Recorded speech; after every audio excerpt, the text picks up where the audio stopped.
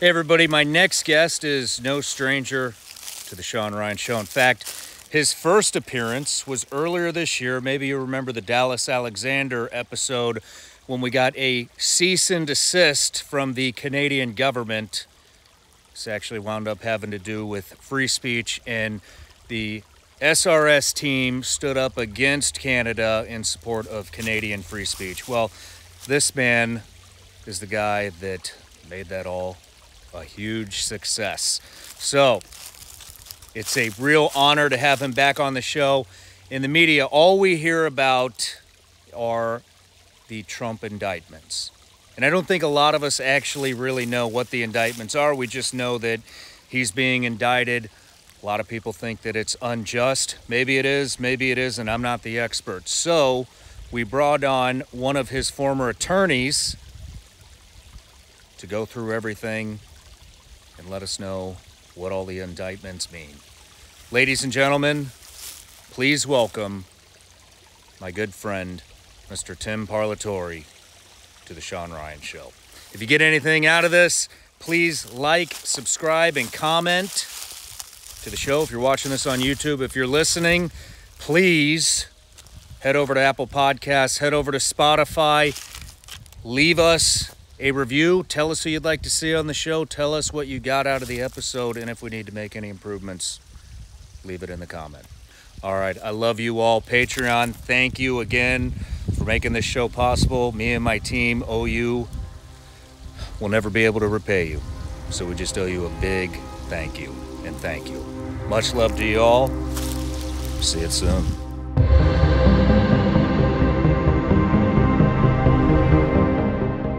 Tim Parlatore, welcome back to the show. Good to be back. We have a lot of stuff to talk about here. So, but you're here for to talk about all the 91 indictments uh, that Trump has. But you know, you were on the legal team for how long were you on the legal team for? A little bit over a year. Over a year, yeah. and recently, within the past few months, I believe you decided to depart. Yep.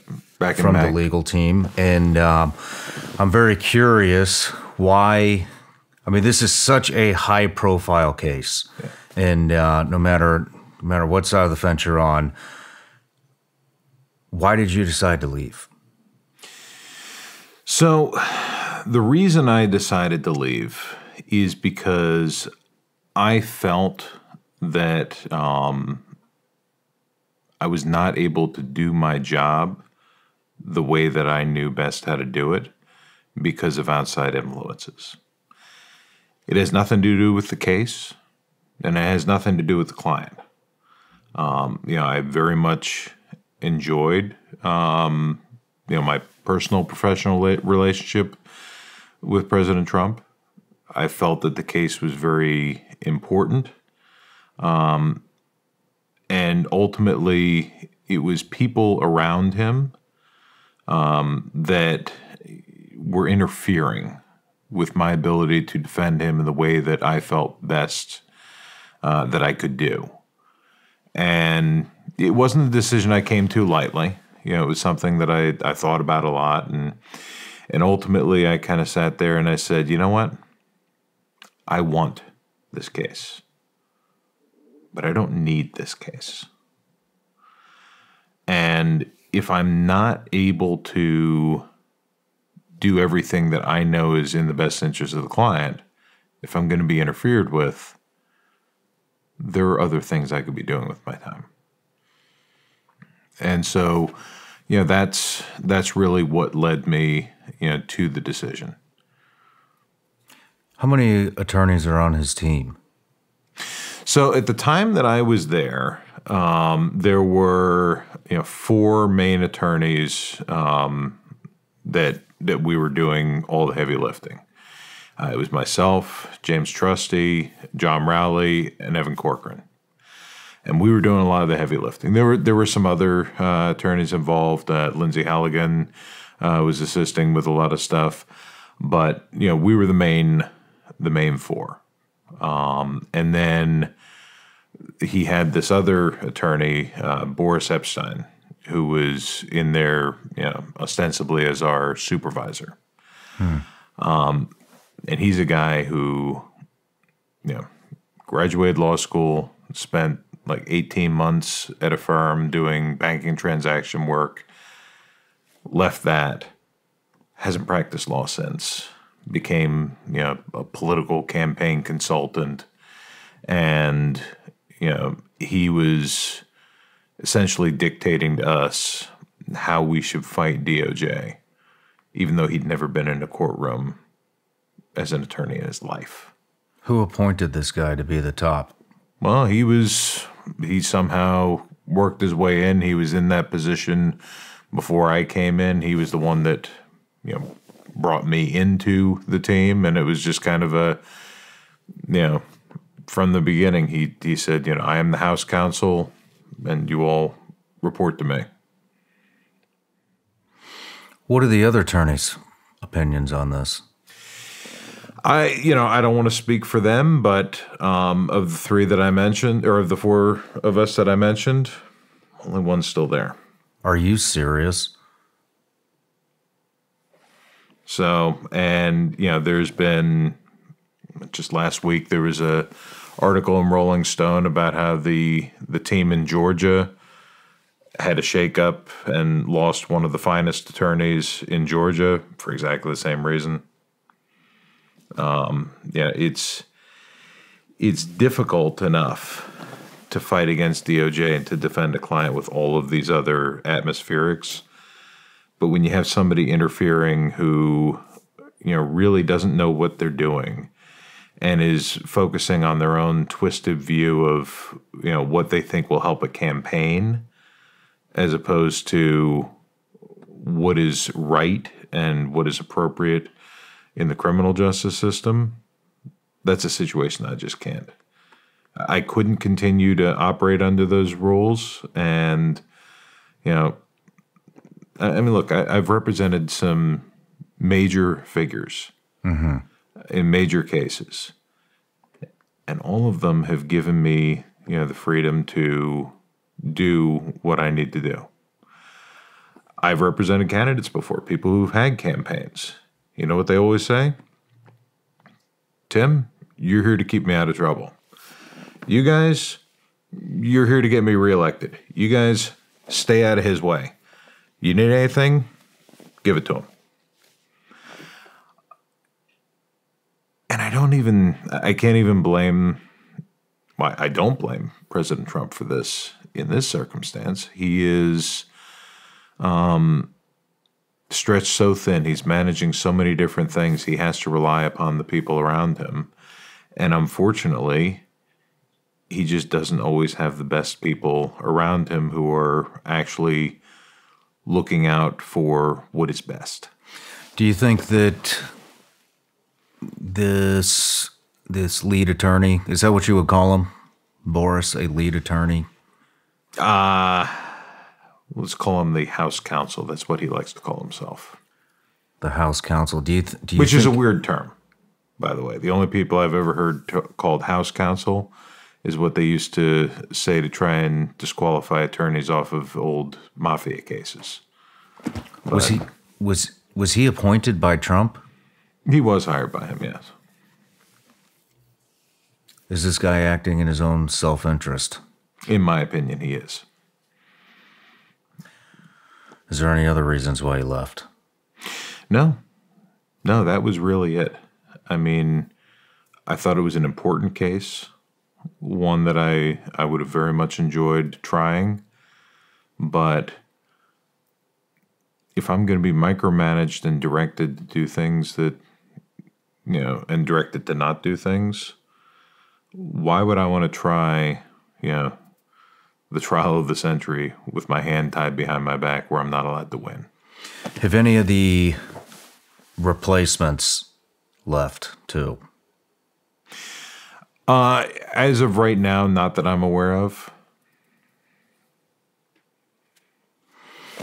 Interesting. Well, let's get into the thick of it, and sure. uh, I'm going to have a lot more questions on why he left as we go through the interview. But um, but today, I really I just want to dig into the Trump indictments and um, figure out what's going on there because a, a lot of people are very concerned, you know, including myself, Sure. that, that this is just political persecution. So, but um, going through them real quick, Trump is indicted within a four and a half month span. Trump has been charged four times.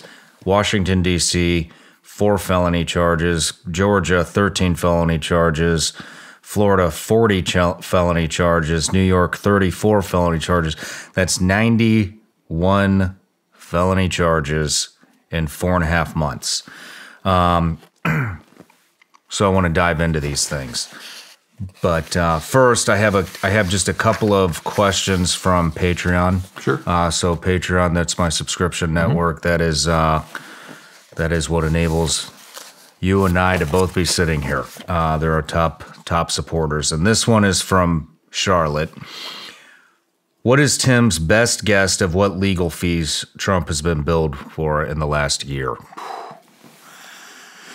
So, you know, the legal fees have pretty much all been covered through uh, political action committee. Um, you know, the the PAC Save America, and so a lot of those fees are public um, because they do have to do public filings. The fees in this case have been massive. And you know, part of that is because of you know the complexity of it, but part of it also is because uh, quite frankly, you have these attorneys that are, you know, billing at over a thousand dollars an hour, and they think that there's millions of dollars behind it. Uh, and you know, if you look at those things, you'll see that my, even though I was on the case for over a year, my portion of it is relatively small. Um, but like I've seen some of the attorneys on there that over the course of a year billed five thousand or five million dollars, and my experience that particular attorney didn't provide any value add whatsoever. So, you know, what's the total fees? I mean, it's it's got to be twenty million dollars. Oh wow! You know, plus at this point, uh, is that normal for how much something like this would cost? Mm, it's a bit excessive, uh, but at the same time, one thing you have to remember is when you have a case that is in many ways all consuming you have to set aside a lot of your other work. Um, know, think about this Georgia case. They just recently said that uh, the trial of that's going to be somewhere between four to eight months long. So, as a lawyer, you have to sit there and say, okay, yeah, it's certainly hourly rate, but at the same time, I'm going to have to set aside, you know, not taking any new work, not work on my business at all, spend, you know, four to eight months living in a hotel somewhere. Uh, and those things can get expensive. Yeah, will that um, Georgia case cost you know over a million dollars per defendant? I think it will. Um, but yeah, right now when we're talking about you know these PAC fees going you know into the tens of millions of dollars, um, personally, I think some of the lawyers there got greedy at the trough and now they're all of a sudden, you know, as things are coming down with the indictments and it's going to get more time intensive, how much money is there left? Yeah. You know, you said that this may be a little excessive. What what do you think a normal, let's say it spent 20 million with your estimation, what would a normal human being with what did we say 90 91 counts, felony charges, four different districts, states, whatever you want to call it. Um, what would that run? Well, it, really it really depends on the individual case, um, and you know, legal fees are one of those things where they're limited only by your imagination.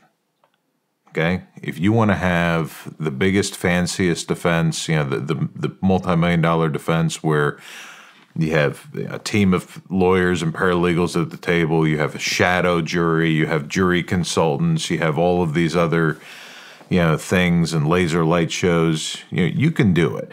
Um, I've never done that. I've never found it to be valuable. I think a lot of that is more uh, make work, and it's it's efforts by the attorneys to try and just suck more, you know, money out of cases. Uh, you know I took over a case once where the prior attorney was um, hiring psychodramatists to try to you know, have the defendant act things out. Whereas I looked at it and said, I have a better idea. Why don't you just sit with the guy and ask him, hey, tell me what happened? So, those things, you know, if I looked at these cases myself and I said, okay, my method of trying these cases, um, then my billing rate is a little bit lower because I don't maintain a big fancy office. Um, but all four of these cases, yeah, I could put together a good solid defense on all these for probably five. Five million. Yeah. Now, but even there, it's kind of a question of, you know, does it cut off the motion to dismiss phase? Do you have to go to a trial? If you do go to trial, how long is the trial going to be? How many lawyers do you want in the trial? You know, it's it really can be limited by your imagination, but at the same time, you know, I would advise everybody facing that kind of situation to have a real hard talk with your lawyer about are all of these expenses really appropriate? And, you know, one of the problems that a lot of clients face is that the lawyer is trying to get all these fees out of you at a time when you're facing jail. And so they'll, you know, they'll hit you on this stuff. Oh, you got to you know mortgage your house. You got to do all this stuff because you don't want to end up in jail saying, "Man, I wish I had hired that psychodramatist." You know? Yeah, that's a great point. That's it's, a great point. And it's a it's something it's something that I don't like about a lot of people in my profession where they do um, you know give a lot of us a bad name through that. Yeah, but at the same time, these things can get expensive. Yeah. I mean, in the DC case, they're talking about millions of pages of documents. Millions of. Yeah. How do you go through millions of pages of documents? You got to hire a team to do it.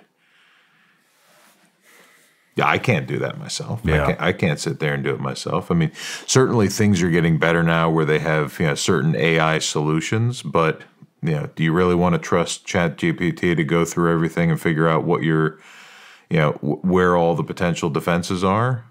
Or are you going to want to have a human, usually a junior lawyer, a team of junior lawyers going through this to pull out the things that are relevant? Yeah. Yeah. You know, there's another question mm-hmm. from Mr. Burns.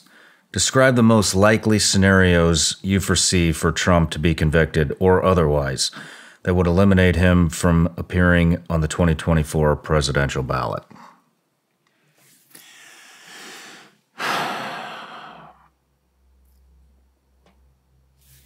The, question gets interesting with that last little caveat at the end about eliminating him from the ballot. Uh, because ultimately, none of these cases are disqualifying that they would force his removal. And all of these cases, in order for it to you know get to a conviction that could, you know, while not statutorily remove him, put him into a position where it's very difficult for him to do anything they have to get the trials done before the election. And that's why you see a lot of these prosecutors really pushing the timing of trying to get these trials done quickly. Whereas if there was not an election involved, cases of this magnitude ordinarily take over two years to get to a trial. So the idea that, you know, I mean, in Georgia, they're talking about doing the first trial with two of the co defendants next month which is crazy. To actually take a case to trial within you know a couple of months of the initial arraignment, that's unheard of. But they need to, you know, if, if this is, as the Trump team keeps saying, election interference, then they need to have the cases brought before the election. Especially in Georgia, if they can tie him up in a courtroom and make him sit in a courtroom for four to eight months every single day, during the general election, he's not out debating, he's not out campaigning. So I think that that's the most likely scenario really comes down to a matter of timing of are any of these cases uh, or multiple of these cases actually going to get tried before the election Did you know that one in five Americans have learn a new language on their bucket list? It's true. If that's you, check it off your bucket list this year because with Babbel, you can start speaking a new language, foreign language, in about three weeks. Why Babbel? Because it works. Instead of paying hundreds of dollars for a private tutor or fooling yourself with language apps that are a little more than games, Babbel's quick 10 minute lessons are designed by over 150 language experts to help you start speaking a new language, just like I said, in as little as three weeks. Here's a special limited time deal for our listeners. To get you started right now, get 55% off your Babbel subscription, but only for our listeners at babbel.com slash SRS. With over 10 million subscriptions sold, Babbel is real language learning for real conversations. Get 55% off babbel.com slash SRS. That's spelled B-A-B-B-E-L dot com slash SRS. Rules and restrictions apply. Visit babbel.com for terms and details. Are you traveling this holiday season? Well, Pure Talk has you covered because they've just added international roaming in over 30 countries. That's right. Whether you're making calls from the Vatican or on a beach in the Bahamas, you're covered. From the steps of Buckingham Palace or your villa in Santorini, you can dial away. And here's the best part there's no rate increase. Pure Talk still saves the average family almost $1,000 a year with plans starting just at $20 a month. And they put you on America's most dependable 5G network, so the coverage is second to none. Stop dragging your feet, switch to Pure Talk, a veteran owned wireless company with simply the best U.S. customer service team. Now, with international roaming in over 30 countries, go to puretalk.com slash Ryan to make the switch and you'll save an additional 50% off your first month. That's puretalk.com slash Ryan to start savings on wireless now.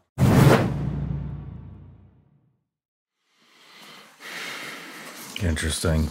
Um, you know, there's one more question here from Brody. Would it be possible, especially if he is found not guilty, for Trump to sue for malicious prosecution since they keep actively searching for something to charge him with? That sounds actually like a question the client would have asked me too. Um, it is possible. Um, yeah, it's suing for malicious prosecution is not something that you frequently do, uh, and there's a lot of you know hurdles to it. Um, prosecutorial immunity is one of the big ones. That's why you know when you see people that are wrongfully convicted uh, that have their convictions overturned, all those lawsuits are against the police departments, not the prosecutors, because the prosecutors get immunity. Okay. And so, you know, whenever the Manhattan District Attorney's Office screws up a case, the NYPD is the one that has to pay for it. Oh, okay. So, but in a case where you are found not guilty, um, a determination would need to be made because malicious prosecution is a much higher standard than just simply being acquitted. Being acquitted means that they failed to prove their case beyond a reasonable doubt. And so, even if a jury thinks it's more likely than not that you committed the crime, if they have any reasonable doubt as to it, they have to vote for an acquittal. So it's not it's not a statement of innocence necessarily. Uh, it is a statement you're not guilty. And so when you then go to evaluate it for malicious prosecution, you have to say, can I meet that higher standard? And I think some of these you can some of these you can. I think that uh, potentially, you know, as we're going to discuss a little bit later, the election related cases, particularly, uh, I think that there is a possibility of doing something there, and especially if it, um, if it does have an impact on the election, because okay. you're essentially disrupting his job application. Mm-hmm. Mm-hmm. Makes sense. Well. We got a lot to cover, Tim. Those are those were uh, those were the top Patreon questions that we had. I have a ton of questions. Sure. Uh, we're going to start with the January 6th ins- insurrection case. But before that, before we really get into the weeds, everybody always gets a gift on this show. You know that. So I know I know you're a coffee guy. There you go. Nice. So, you know, we just had this conversation outside, but you know, I'm very into mental health. Yes. And part of mental health is keeping your brain sharp. So, that is Laird Superfoods, coffee, and performance mushrooms. And the coffee actually has uh, functional mushroom benefits in it.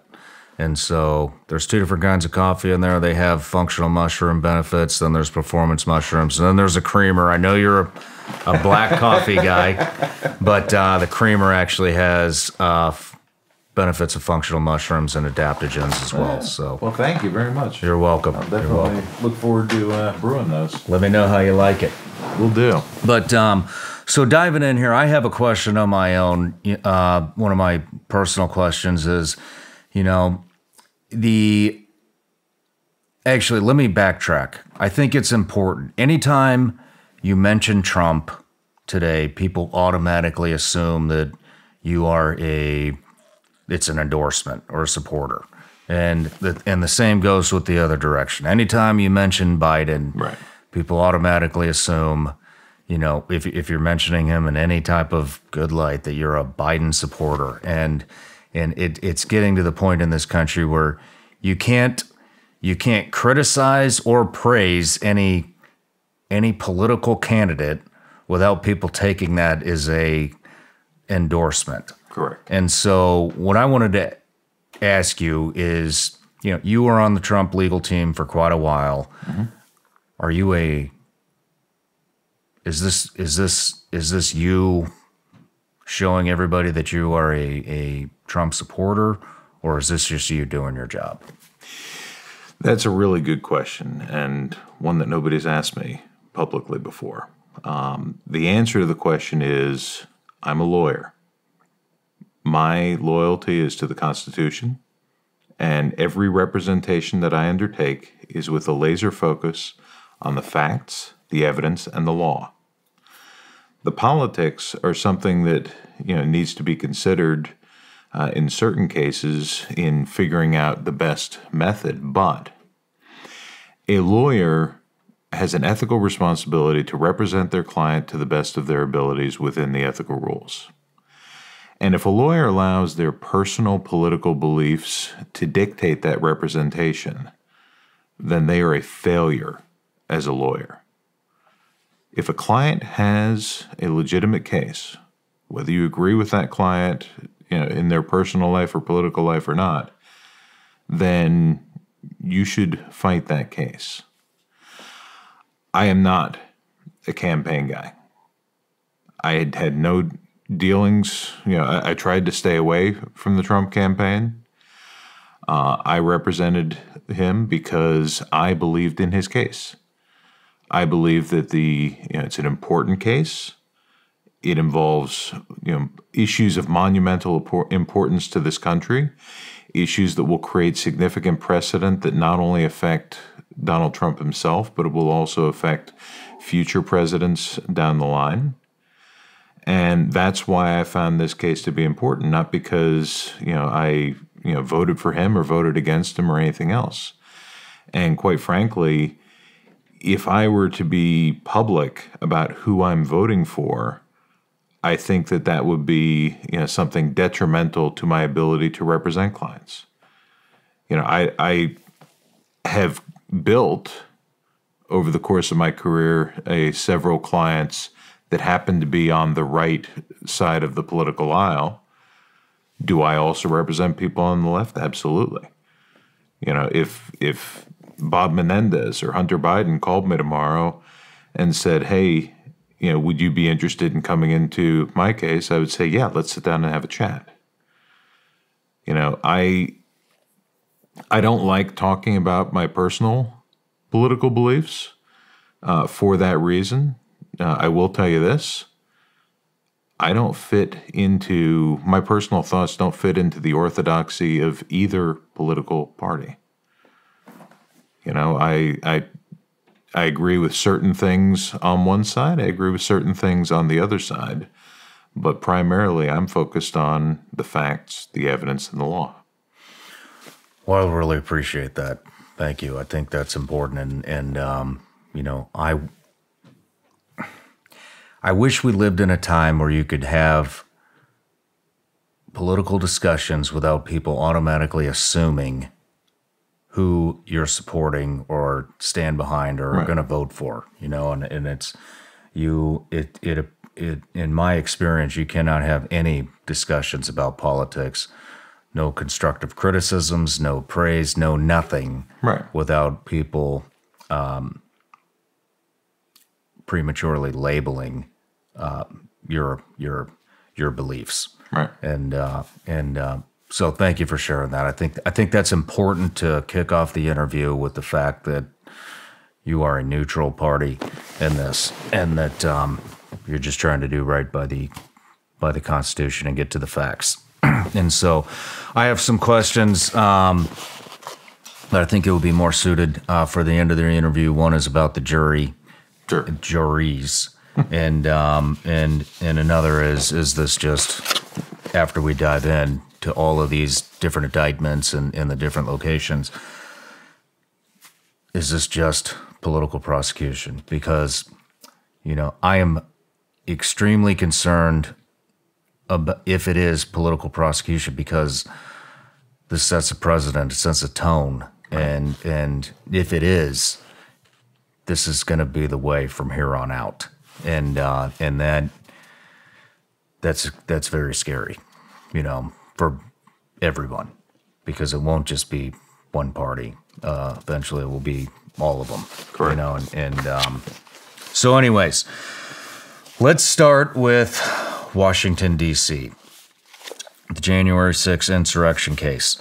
Um, the House Select Committee on January 6th attack voted in December 2022 to refer Trump to the Justice Department for prosecution. August 1st, 2023, the grand jury approved an indictment against Trump, indicting him with an extraordinary conspiracy that threatened to disenfranchise millions of Americans.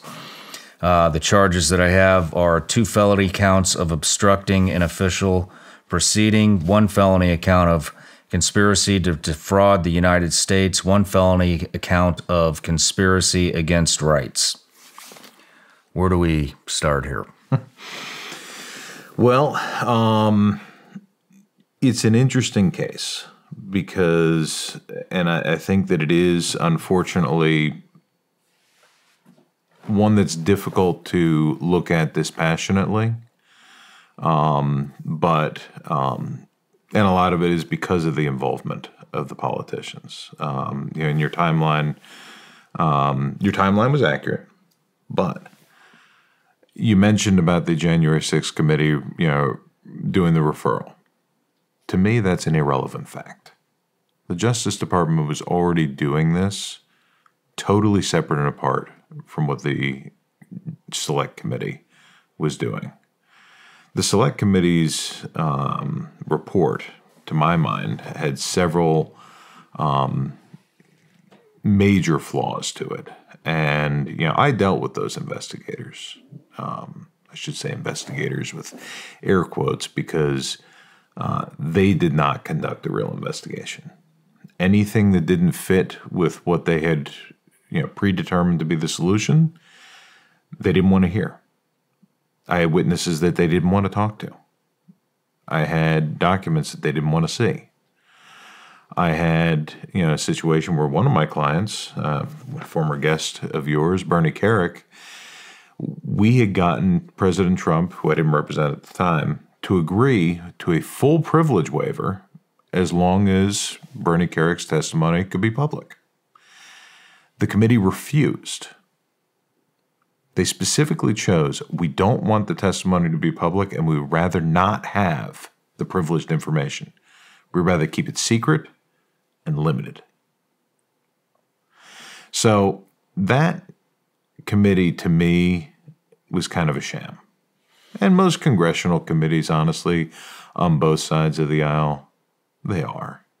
I mean, congressional hearings, I remember one former congressman once told me the purpose of a congressional hearing is fundraising. It's about getting video clips that you can use for fundraising. So that piece of it, I kind of set to the side. The investigation in chief, and I dealt with them, you know, a lot. The entire theory of the case comes down to did he knowingly push false claims of election fraud to try to overturn you know the will of the people and install himself wrongfully as president for a second term. That's their theory. And you know they have a few different alternative methods of charging it where they're really to my mind they went through the law books to try and find you know we have this conduct that we don't like let's go through the law books to try and find some statute that we can criminalize it in. And so I think that in large respects, they're kind of trying to jam the square peg into the round hole on that. But from a more basic perspective, my biggest problem with the entire January 6 case is it's all a matter of how you evaluate his actions based on the role that you assume that he's taking. Because as a first term president, he is wearing two hats. He has the hat of being, you know, the candidate who wants to win the election, but he's also wearing the hat of commander in chief, who has a mandate under the Constitution to ensure that the laws of the United States are faithfully executed. So pull back from a second from all the rhetoric. Change the names, change the personalities, change the circumstances. You have a second term president, not a candidate, who has received credible reports of possible fraud, which could have affected the outcome of the election that possible fraud needs to be further investigated to conclusively prove or disprove it. What do you want the commander in chief to do under that circumstance? I want him to do what's right. right. I want him to uphold the law. You want him to call the attorney general. You want him to call the FBI director. You want to tell him to tell them, "Hey, we've received these credible reports. I would like you to send out FBI agents and research them Figure it out. Prove it conclusively, one way or the other. Prove or disprove. Call up the governors. Say, hey, I received reports of fraud in your state. Can you have your state investigators go and look into this? That is what we would want a second term president who is not running for reelection to do.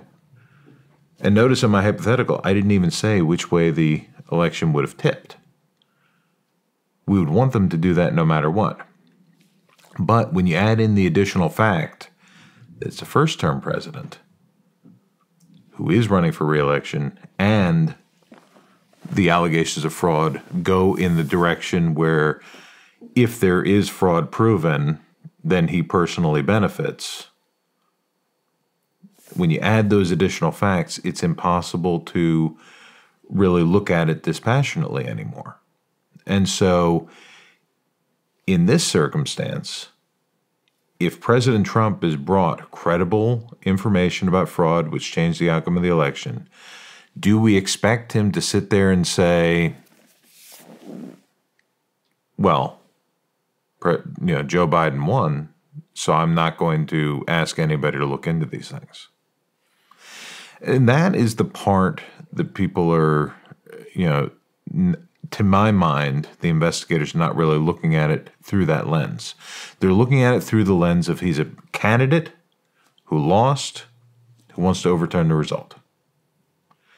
And the difference between those, you know, the, the line is very thin and very gray between those two roles. And additionally, it all comes back to did he believe? These reports. Where did the reports come from? So the reports came from a lot of different sources. Uh, and this is, again, part of what hasn't been fully explored. At the time, they were receiving a lot of reports from people on the ground in the various states who said, I saw this. I saw them unloading boxes of of ballots. I saw them, you know, doing this. I saw people running the same ballots through the machines multiple times, you know, whatever it is. They were getting all of these complaints from around the country. And some of them weren't actually even complaints of observing fraud so much as complaints of observing irregularities. They are refusing to let the observers watch the ballot counting. That was a big one. Why are you refusing to let the observers watch the ballot counting? Do they normally? No, norm- normally that is that is a part of our system that, and it's it's written into laws of the various states of how the ballots get counted, what observers are allowed to go. Usually, you have the opportunity for a Republican and Democrat observer to both be there. The Republicans observers went, and they were not allowed to observe, and that you know removal of the observers is something that on one hand, is very easy to prove. You have plenty of eyewitnesses, you have surveillance video. On the other hand, it's very difficult to prove that it means anything. Because once you've removed the witness, what happened in the room? I have no idea. You know, did they double count? Maybe. Who knows? Did they do everything appropriately and they just didn't like people watching them? Maybe. Who knows? the removal of observers is not something that in and of itself proves fraud. But it's something that gives an indicator that this should be looked into more. Is there any law that states that you have to allow the observers in? Yeah. And why is not why is that law not being upheld? And why that is there no the, that was the issue at the consequences? time. That was the issue at the time is that you know this was this was not proper the way that you kept the uh, the observers out they went to judges they got you know, injunctions but you're talking about a very short period of time that by the time you go through the legal process the counting is done and then what's the remedy do a recount well what if they're what if they've done something to the ballots who knows it it becomes very difficult so they received all these reports of various irregularities throughout the country. And look, I didn't personally observe any of these things, so I can't speak to the veracity of, of any of these. But I will tell you that one of my clients, you know, Bernie Kerik, was one of the chief investigators working with Rudy Giuliani. They received a lot of these complaints. Some of them they were able to discount right off the bat and say that's not something worth our time. That's not something that's credible. This person is a kook. Set it to the side. Focus on the ones that they could actually do something with. And ultimately, when he's you know testified or when he was interviewed by the January 6th committee, when he was interviewed by Jack Smith's team, his story was consistent which is as a former criminal investigator, we found evidence of fraud that rises to the level of probable cause. Not proof beyond a reasonable doubt. Probable cause to believe that fraud had been committed, which requires further investigation to conclusively prove or disprove. They didn't have the resources to do that. They had neither the time, the money, the manpower, the subpoena power to do it. You know who does? The FBI. And that is really where this thing comes down to is that he received these reports from the Giuliani team and others, the president. He then goes over to Bill Barr and others and says, I want you to send investigators out to look at this. And again, I wasn't in the room, but the the way that it was explained to me, Bill Barr essentially responds, there's nothing there. There's no fraud. This is, you know, this is not worth my time. I'm not going to devote resources to doing this investigation. A lot of the frustration that built up by the morning of January 6th, I think, was more fueled by the lack of an investigation and the appearance that some of these people were just saying it's better to you know close our eyes and move forward instead of actually verifying these things. Mm-hmm. Yeah, if we could go back in time, I would love to grab Bill Barr by the arm and say, dude, if you think the Giuliani is full of, full of it, tell that to the president. Say, hey, I think Rudy Giuliani is full of crap. Here's what I'm going to do I'm going to send out a team of FBI agents. We're going to go investigate all that stuff that he did, and I'm going to bring you back a report showing you that he's full of crap. If he had done that, I think that would have changed a lot of the trajectory of things. Yeah, not blaming him, not saying he's personally responsible for January 6th, but the the belief that no investigation was going to be done, I think, is what fostered the desperation um, and you know the continued you know so-called pressure campaign to do an investigation. You know, one of the things that I'm always amazed at by these allegations is, you know, and this is both in the DC and the Georgia case, is he put on an immense pressure campaign to conduct an investigation. Well, guess what? Asking the FBI or the Georgia Bureau of Investigations to conduct an investigation is very dangerous because you have no control over it.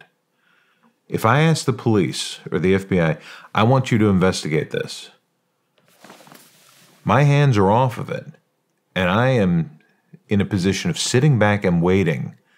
And the FBI is going to go out, they're going to investigate, they're going to interview people, they're going to look at evidence. And there's a chance they come back and they say, hey, Tim, this thing that you said, we found evidence of it. But there's also a big chance that they come back and they say, hey, this thing that you said, we found an innocent explanation. There's no there there. He never asked in any of these things, I want you to investigate with this conclusion. Hmm. I want you to investigate this allegation. That's the difference. And so and and this you know crosses both the Georgia and DC case. If you believe that there's a possibility of fraud and you're asking them to investigate it, that is not a crime. when it comes to these counts, because this is all wrapped around J6, correct? Right. The, the DC stuff. Yeah none of these sound to me like they are charging him with instigating January sixth. Oh, no, yeah, not not at all. So, and that's an important piece is that people keep talking about you know the January sixth insurrection. Mm-hmm. I understand why people use that term. I don't understand why lawyers use that term. Ins- so? Insurrection is a legal term that has a definition under the United States Code. You cannot sit there and, as a lawyer, and say the January 6th insurrection when not a single person has been charged with the crime of insurrection. Many people were charged with the actions on that day, but nobody's been charged with insurrection. So as a lawyer, I throw that term to the side, you know, as as being an organized effort to you know, to overthrow the government. Um, obstruction of official proceeding? Yeah, a lot of people did do that. Absolutely. Trespassing, you know, property damage, general mayhem? Absolutely. They did all that. Bad fashion sense? Absolutely. But Bad fashion sense. I wouldn't walk around Congress wearing a fuzzy hat, but you know.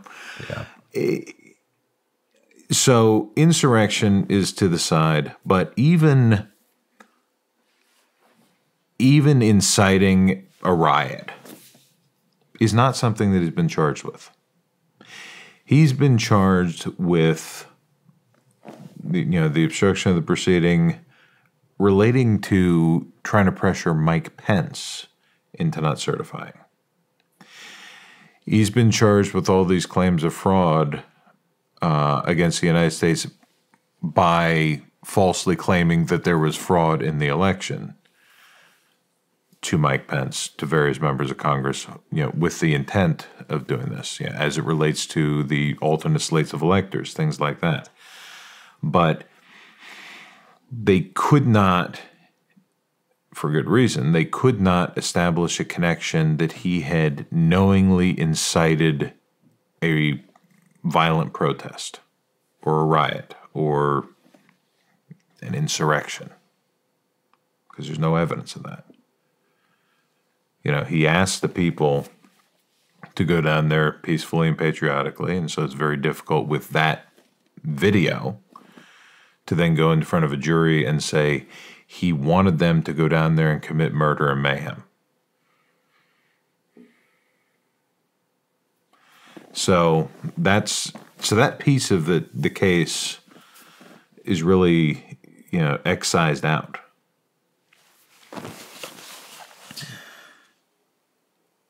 When is this going to be tried? Is it out yet?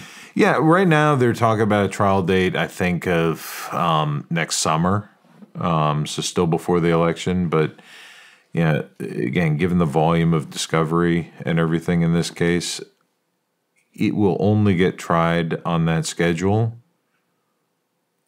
if everybody just ignores the standard conventions of federal criminal procedure. Do you think these are going to stick?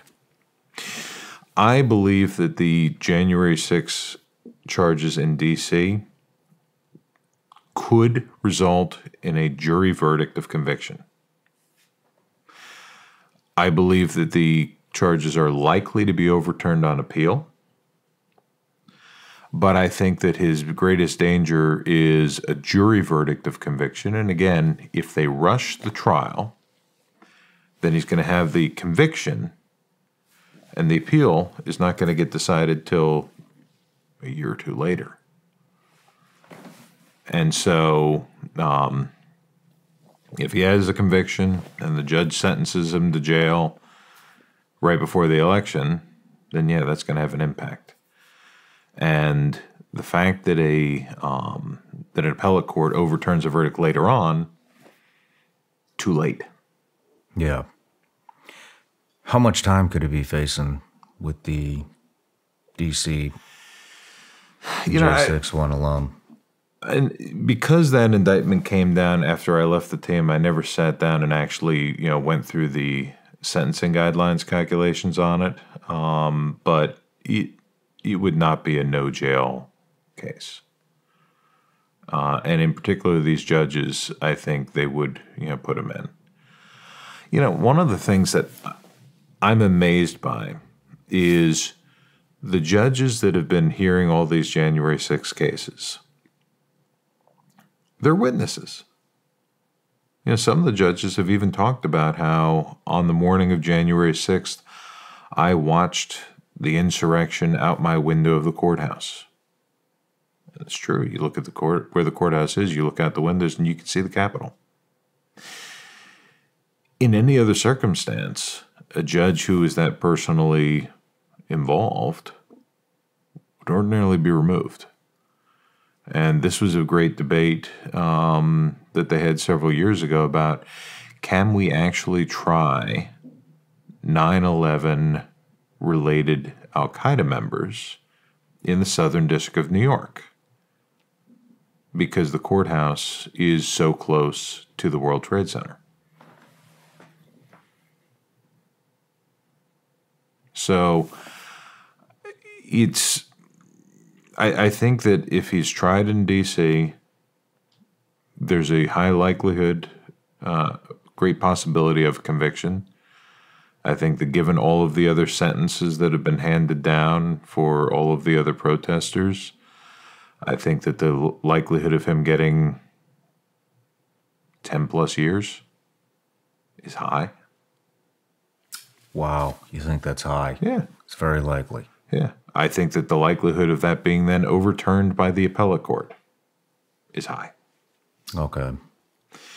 And so, you know, some of this stuff may get dealt with in pretrial motions to dismiss, which maybe they'll even allow that to go to the appellate court uh, before trial. That's not something that they usually do, but sometimes it's appropriate.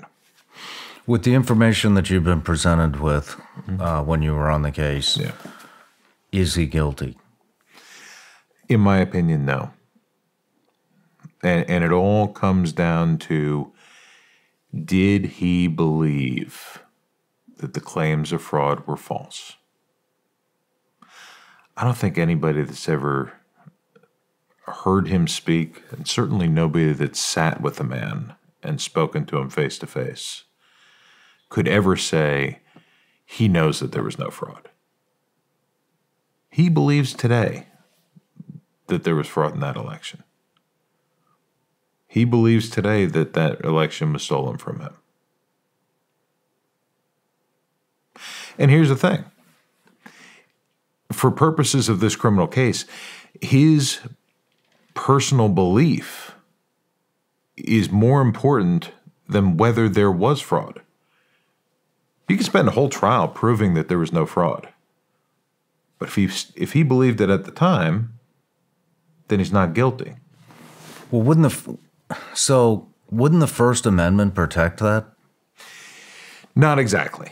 Um, so, i- First Amendment is a little bit more nuanced than that. Um, so, the First Amendment does give you the right to, you know, say whatever you want as long as it's not, you know, as long as it, needs for the for your free speech to be criminalized, it has to have more than just speech. So, perfect example is you know the the history behind the Stolen Valor Act.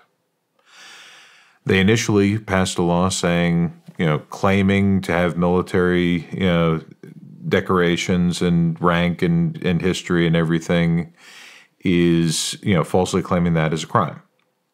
That was overturned as a violation of the First Amendment. You have a First Amendment right to lie the way that they then brought it back was it has to be tied to something else. So if I go and tell everybody I was a Navy SEAL, that's legal. Nobody's ever going to hire me again, but it's legal for me to lie about being a Navy SEAL. Now, if I say I am a former Navy SEAL and I can teach you how to scuba dive, and I'm going to charge you yeah, I, I, I'm I'm a scuba instructor, former mm-hmm. Navy SEAL. That's where the crime is because you are connecting the false statement to some form of pecuniary gain, monetary gain. And they've even, you know, been looking at this of does it get down to the level of, you know, falsely claiming that you're a SEAL in a bar at night so you can convince the girl to go home with you? You know, is that is that uh, constituted? But here again, if you're simply saying, pretend for a second that there was no fraud, pretend for a second that um, that he knew that there was no fraud. If he's just saying it, there's nothing wrong with that.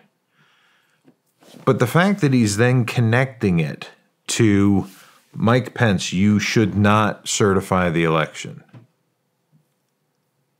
That's that extra step that takes it outside of a First Amendment defense. Did Mike Pence make the right call that day? I don't know. Um, I think that the the law was ambiguous as to whether he had the power to do what they were asking him to do. Uh, they have since, you know, gone to amend the uh, the Electoral College Act to clarify that his role is purely ceremonial, and in doing so, they do admit that it was at a minimum vague. And, and to back up for a second, because you know one of the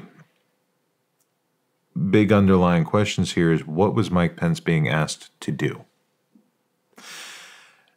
Mike Pence has said, you got to remember he's now running for president against Trump. He has said that he was asked to basically reject these things and declare Trump as the president. That claim is inconsistent with all of the evidence that I saw through my time representing him and all of the other people and witnesses that I've interviewed.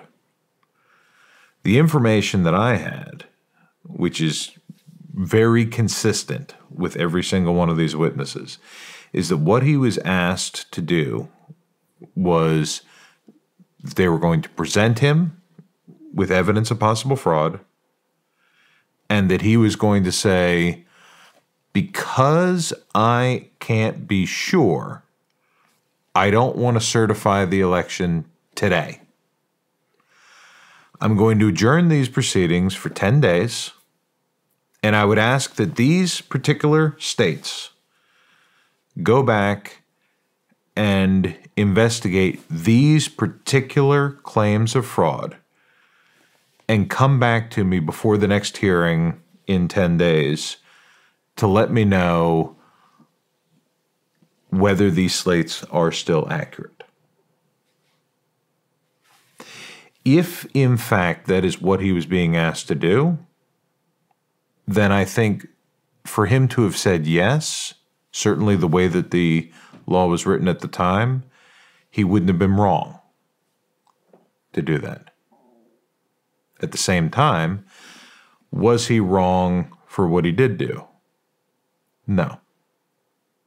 In, in my personal opinion, I think he could have gone either way. I think that the way that the law was written, it gave him discretion. So he made the decision that he felt he should have. You know, I I personally can't I don't take a position on whether he was right. I say this, he wasn't wrong. I, I'm not going to say he was right, but he wasn't wrong. Gotcha. This is a little unrelated, but I'm I'm curious to know. I mean, we get into the section where who could pardon him? How could he get out of this? All federal crime. They, were all they were all federal crimes. So if Trump is reelected, he could pardon himself. Why do you think he didn't pardon himself before he left office? Was that a mistake on his part? Self pardon is a um, doesn't look great. Well, and it's also it's something that's never been done. And so it's it's never been done. It's of questionable legality. I mean, certainly, you know, when you read the Constitution, it appears that there's not that restriction on it. Um, but at the same time, nobody's ever done it. Well, here's the other piece of a pardon. This is actually important, uh, and I'm if you don't mind, I'm going to go on a slight tangent here about another case.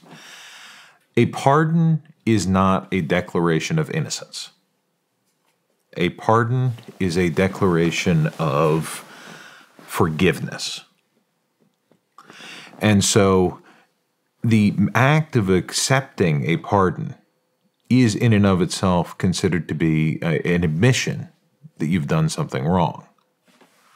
Uh, and that's why pardon applications, you usually are required to say, Yes, I made a mistake and I am asking for forgiveness. Please restore me to the full rights of an American citizen without a conviction because I have, you know, for whatever reason you want to argue. And so the story that I want to tell you here is um, another another one of my clients, Eddie Gallagher. When uh, we were pre-trial in his case, and the newspapers were all talking about how President Trump was considering pardoning Eddie. Eddie actually asked me. He said, "Tim, if he does issue a pardon, am I required to accept it?" Because I don't want a pardon before my trial. I want to go into court and I want to face my accusers and I want to be exonerated. At the same time, I don't want to go to jail for the rest of my life. I want to go home to my family. But do I have to accept it? Or can I wait until after the trial? Hmm. And so it was something that I actually had to research at the time for Eddie. And, you know, luckily for him, President Trump did not offer him a pardon uh, pre trial. And so he did get the opportunity to go in and exonerate himself. But um, courts have found in certain cases, in very unique circumstances where it was brought to the court's attention, that you cannot claim that you were innocent if you accepted a pardon. Here's a fact that I am sure just about every one of you listening right now is going to find absolutely disgusting. According to reports, 60% of pork sourced here in the United States comes from one company, and that one company just happens to be owned by China. And guess what? There's more. That one company happens to inject its hogs with ractopamine, a chemical that is banned in 160 countries, to include China. Yet, guess what? You find it in the meat section of just about every single grocery store here in the US. That's right. So I thought you just might be interested in an alternative. Let me tell you about Moink. Moink delivers grass fed and grass finished beef and lamb, pastured pork, chicken, and sustainable wild caught Alaskan salmon straight to your door. Here's the deal I've tried the pork, the beef, the fish, and the poultry from Moink, and it's fresh and it's clean. Not like this junk that you get at the grocery store from these massive meat suppliers. You see, I like to know where my meat comes from. As I'm sure all of you do too. Keep American farming going by signing up at moinkbox.com slash Shawn right now, and listeners of this show get free ground beef for a year. That's one year of the best ground beef you'll ever taste, but for a limited time. That's spelled M-O-I-N-K box.com slash Shawn. That's moinkbox.com slash Shawn. I want to tell you about this business venture I've been on for about the past seven, eight months, and it's finally come to fruition. I've been hell bent on finding the cleanest functional mushroom supplement on the planet, and that all kind of stemmed from the psychedelic treatment I did Came out of it, got a ton of benefits, haven't had a drop of alcohol in almost two years. I'm more in the moment with my family. And that led me down researching the benefits of just everyday functional mushrooms. And I started taking some supplements. I found some coffee replacements. I even repped a brand. And, you know, it got to the point where I just wanted the finest ingredients available, no matter where they come from. And it it, it got to this point where I was just going to start my own brand. And so we started going to trade shows and, and looking for the finest ingredients. And in doing that, I ran into this guy, maybe you've heard of him. His name's Laird Hamilton and his wife, Gabby Reece. And they have an entire line of supplements with all the finest ingredients. And we got to talking. Turns out they have the perfect functional mushroom supplement. It's actually called Performance Mushrooms. And this has everything. It's USDA organic. It's got chaga, cordyceps, lion's mane, maitake. This stuff is amazing for energy balance, for cognition. Look, just being honest, see a lot of people taking care of their bodies. I do not see a lot of people taking care of their brain. This is the product, guys. And so we got to talking and our values seemed very aligned. We're both into the functional mushrooms. And after a lot of back and forth, I am now a shareholder in the company. I have a small amount of ownership, and I'm just, look, I'm just really proud to be repping and be a part of the company that's making the best functional mushroom supplement on the planet. You can get this stuff at lairdsuperfoods.com.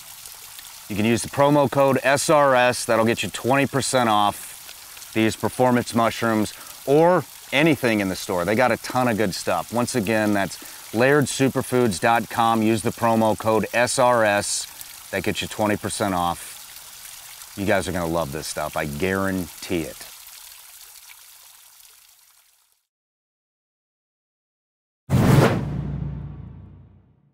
All right, Tim, we're pretty much wrapped up with the J6 Washington, D.C. indictments. I would like to get into the Georgia election interference case. Sure. So, this case I find very interesting after some uh, conversations that we had offline. But um, status indictment. Criminal investigation opened February of 2021. Summer of 2023, Willis presented her evidence to a regular grand jury, which approved a 98 page indictment on August 14th, 2023.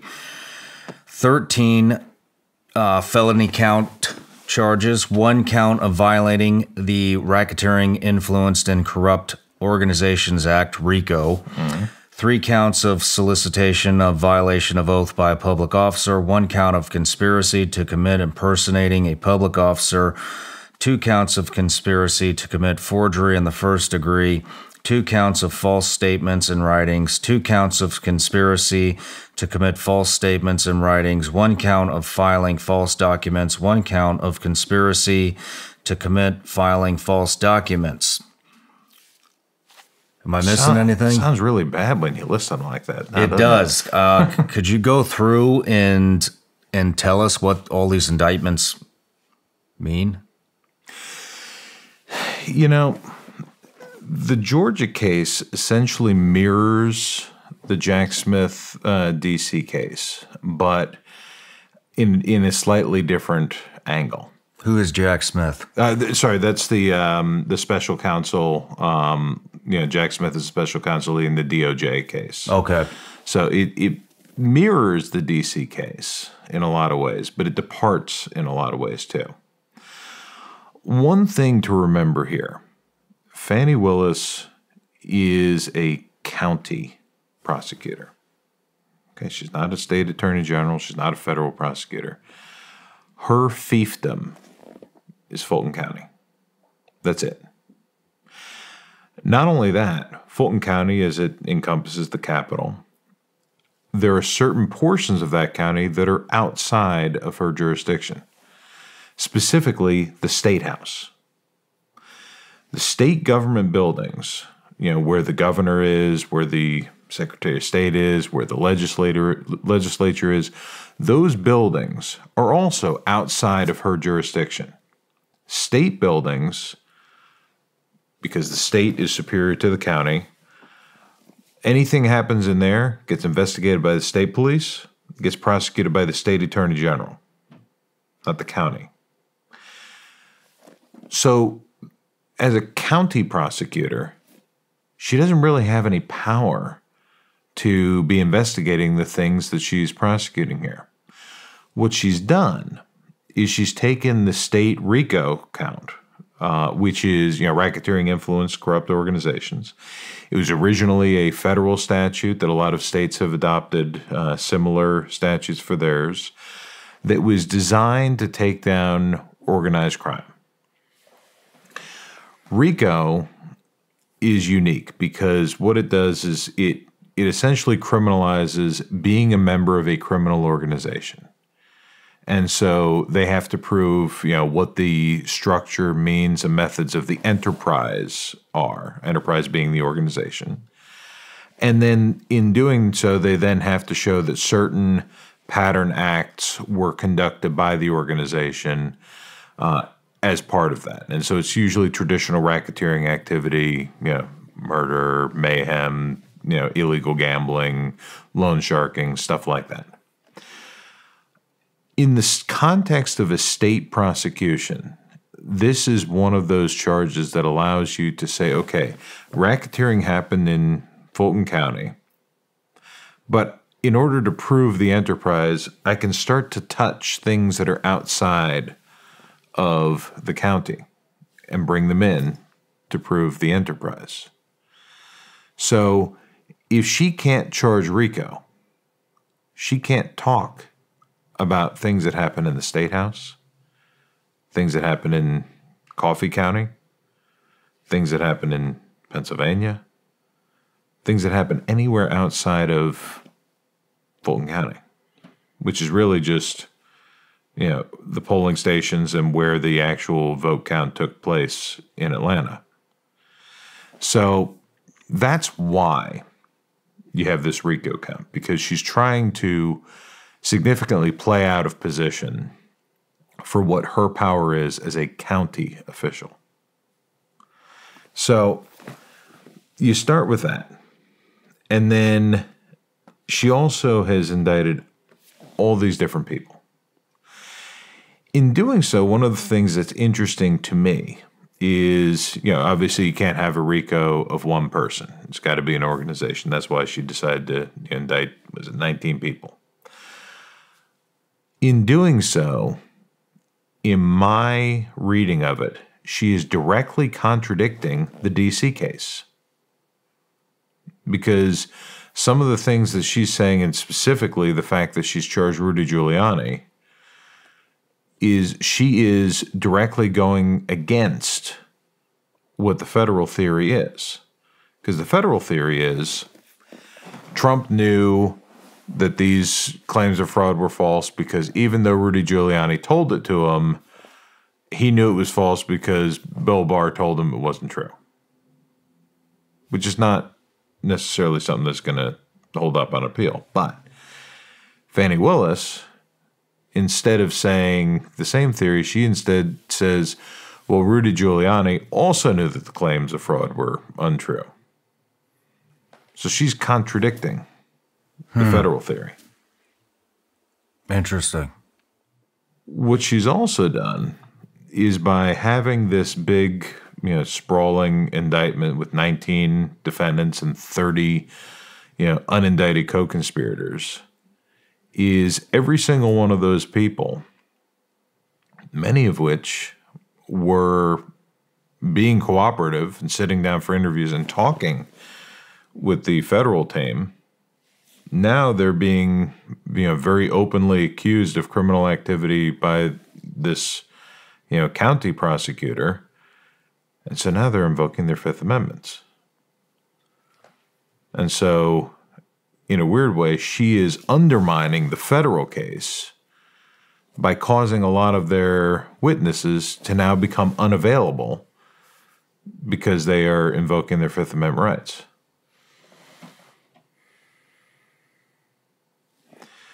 So, I mean, that's that's the core of of what this case is. A lot of the other stuff that you get into there, all the you know the forgery and impersonating an official, all that stuff that goes into this whole theory of um, you know the what they call the fake electors or the alternate electors, um, which is a whole kind of separate little piece of this thing, um, and not a lot of people understand. What happened at the time, not just in Georgia, in a lot of these states, is that the states that were disputed they had gone, you know, to create an alternate slate of electors. Um, and to back up a little bit further, the way that our federal presidential elections work, with the Electoral College Act is that the voters in each state, you know, vote for who they want as president. The state then takes whoever won. So, you know, if Donald Trump wins this state, then based on the population distribution of those states, each state has a certain number of electors. And so, you know, when they say that you know, Georgia has so many electoral college votes, what that meant, you got to remember all of these rules, all these laws were passed at a time when there was no internet, there was no electricity, there were no cars. What it means is they count it up in Georgia and they say, okay, you know, Thomas Jefferson won Georgia. I don't know if he won Georgia or not, but just by way of example. And so if they have whatever, you know, 20 electoral college votes, they find 20 people that are the electors, they put them on horses and send them up to DC.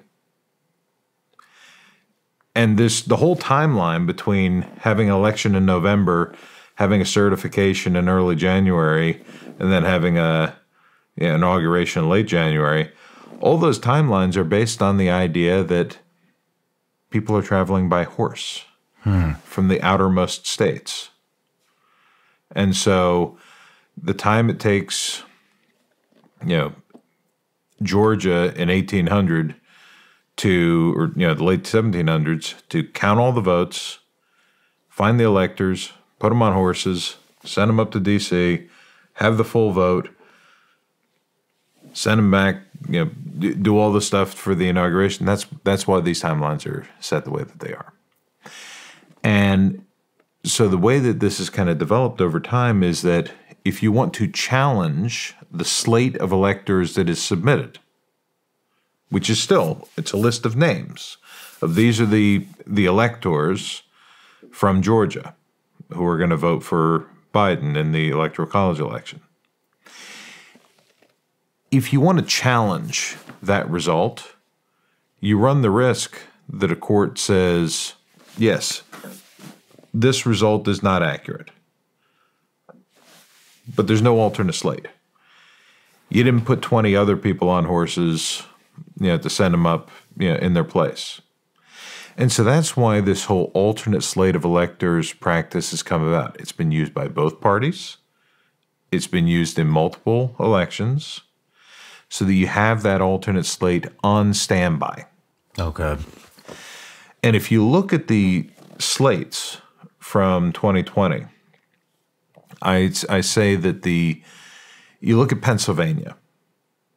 For whatever reason, somebody in Pennsylvania was smarter than everybody everywhere else. And they actually wrote on the slate alternate only to be in used in the event that the primary slate is invalidated through litigation or investigation. Words to that effect. The Georgia slate, nobody thought to write the, that sentence in. And so if you just take the Georgia slate of you know, Trump electors, it reads like, you know, President Trump having been duly, you know, elected in this state, these are the people that are casting their vote. But is that a plausible fraud? To me, it's not. I mean, there are some that are saying, oh, the purpose of the alternate slate, it's a fake slate of electors because they wanted to fool Mike Pence.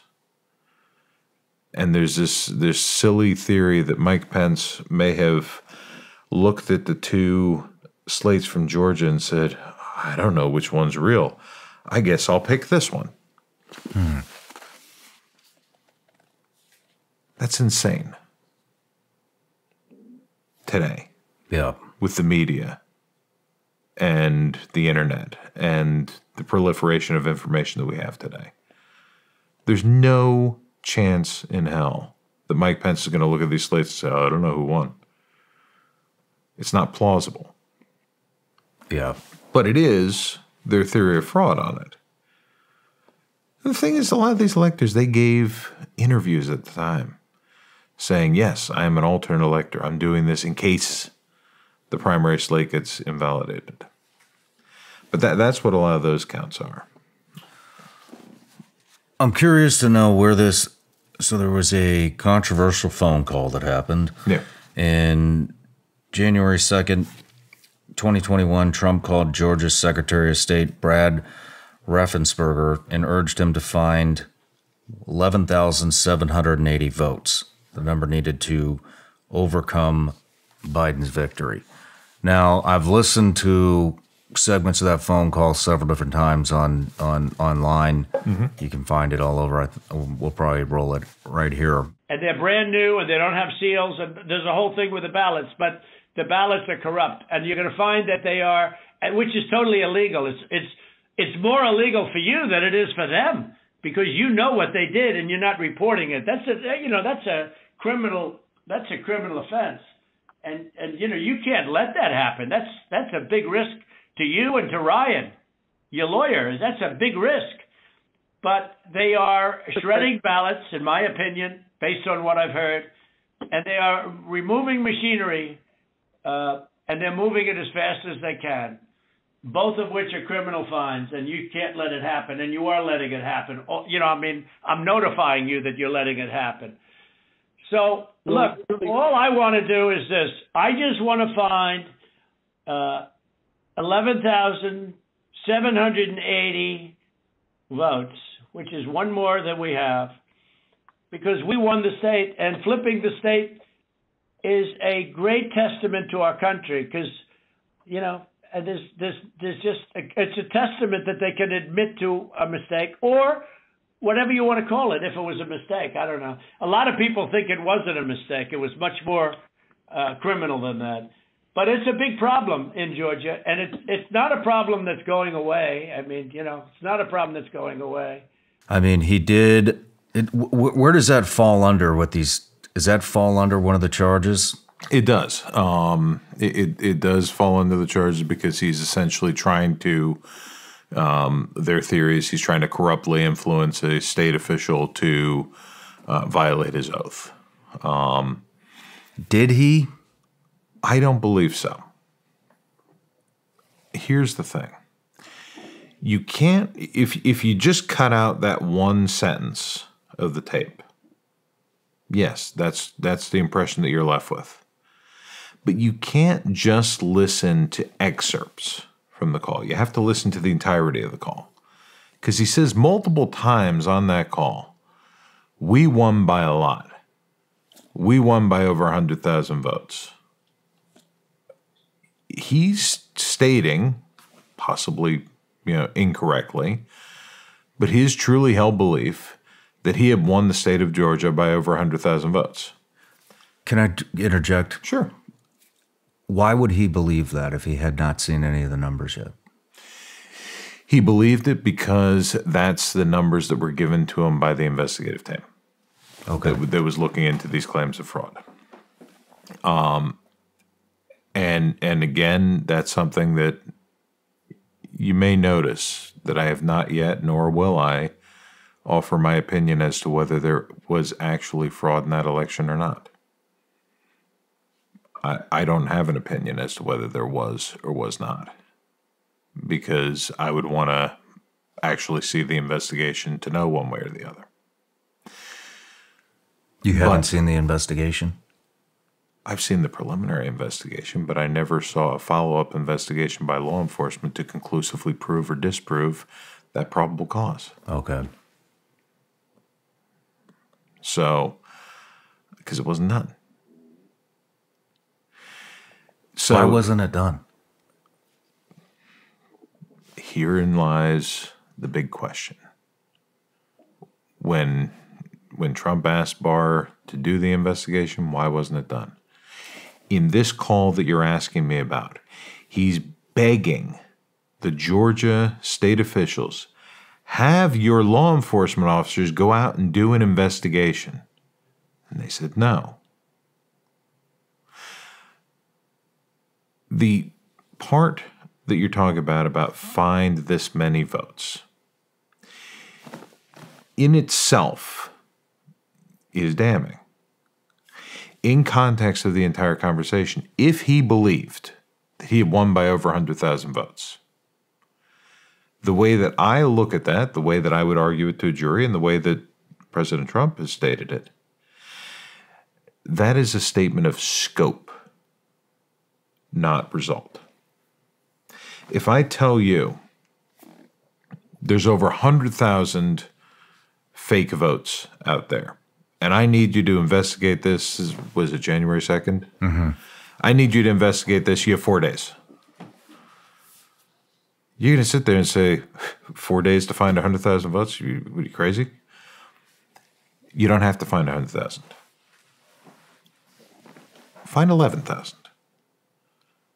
Once you find this much, that's the delta between the two candidates, then for the purposes of this inquiry as to what slate should be certified for the election, you can stop. As soon as you find the delta between the candidates, the Secretary of State can stop and pass it on to the Attorney General of the state of Georgia to continue the investigation, find potentially, you know, in his mind, all 100,000 of them, and then figure out who, who to arrest and put in jail for it. The Secretary of State their role in investigating election fraud is purely to find out what is the right slate to be put up on January 6th. Not, you know, Secretary of State is not in charge of putting people in jail. So you don't need to find all 100,000. Okay. Just find 11,000. And so when you listen to the tape in the full context and you think of it that way, that this is a statement of scope, not result, given the shortened period of time and the very specific limited role that the Secretary of State has. It makes more sense. Could it have been more artfully stated or you know explicitly stated? Is it how I would have explained it? No. It, it could have it probably could have been clearer on that. But to just cherry pick the one sentence and say he's directing him to go find these votes, you know, that's it leads to a misleading result. But even there, go find the votes as opposed to just say that there are the votes. Go find evidence of 11,000 false votes. And if you can find evidence of 11,000 false votes, again, you're sending somebody to do an investigation. It's a danger. Maybe they come back the way you expected, maybe they don't. Let's talk about Fani Willis. Sure. So, if I remember correctly, we had a conversation a couple weeks ago, maybe a month ago in DC, about Fani Willis, and I believe you told me that she ran her campaign Yeah.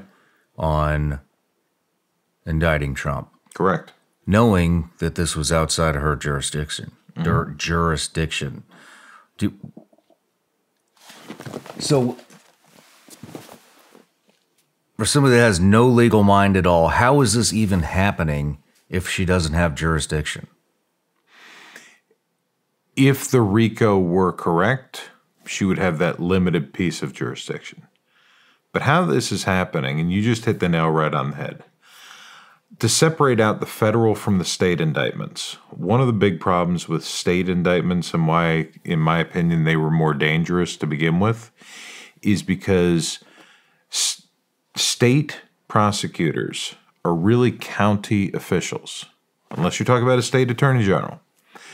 They're county officials, they're elected county officials. And so if you have an elected county district attorney in a county that is a you know deep red or or deep blue, either way, they get their job and they keep their job by winning the primary election. They don't have to worry about the general election because they're largely going to be unopposed. Fani Willis was not the district attorney at the time. She was, you know, outside and saying, "I would like to become district attorney And playing to the base, she said, If you elect me, I will indict Donald Trump. And in the primary race, that played very well. She won the primary. In the general election, she's essentially unopposed.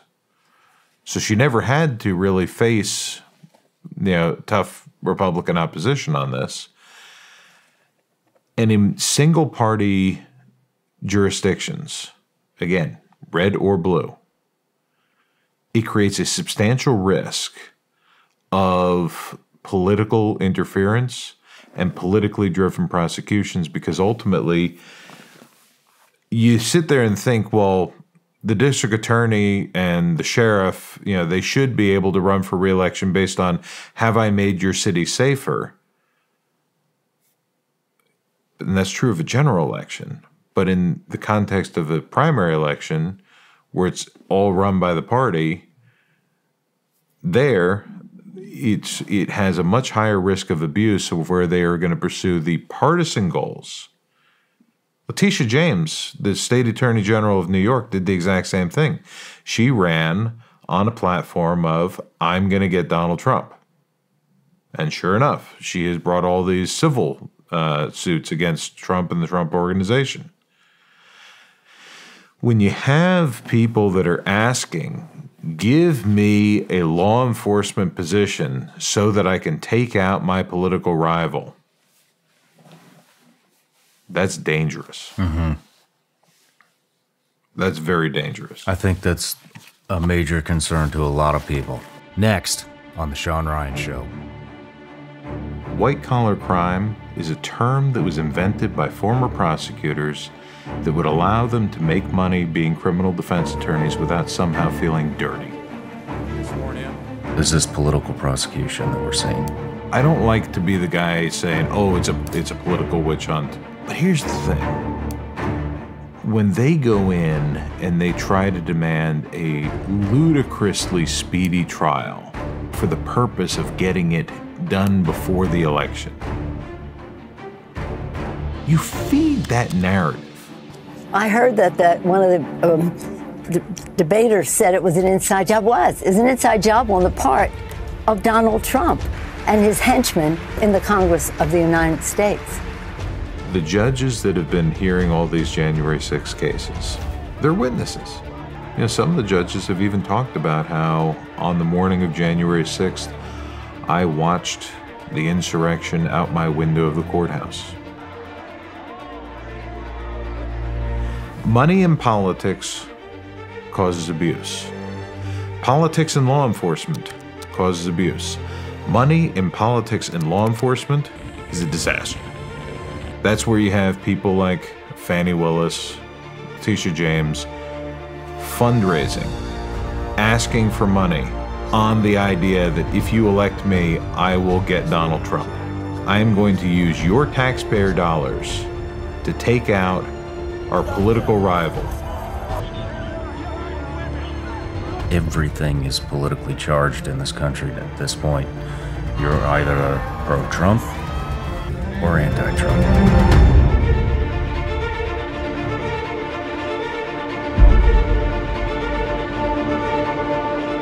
Hey everybody, I'm Shawn Ryan. Click here to subscribe to the Shawn Ryan Show YouTube channel for the hottest and most compelling interviews that you will not see anywhere else. I've also made a playlist of all the previous SRS episodes so they're easy to find. You can find that right here.